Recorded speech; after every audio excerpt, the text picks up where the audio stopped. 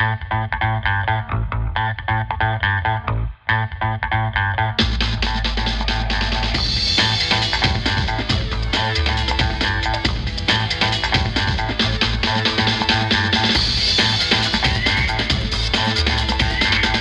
two have really gotten out of hand. You need to get to know each other. What? You need to spend more time together. What? For every hour without fighting, you earn mom bucks, which you can trade in for real dollars. This thing is a gold mine. You better not ruin it for me.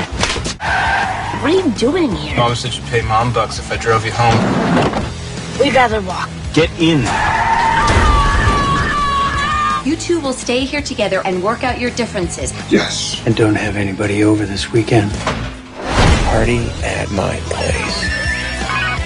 Greg, We have an opportunity to see things that no other kid has ever seen before. Rowley, This is what happens when we go to sleep. I'm never going to sleep ever again. Holly, She's an all-star soccer player, has done professional modeling, and was her sixth grade class president.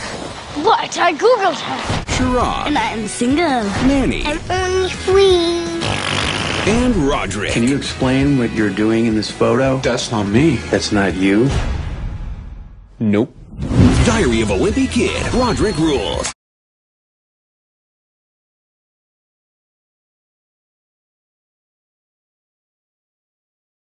Wake up in the morning feeling like P. Diddy. Grab my glasses, I'm out the door. I'm gonna hit this city.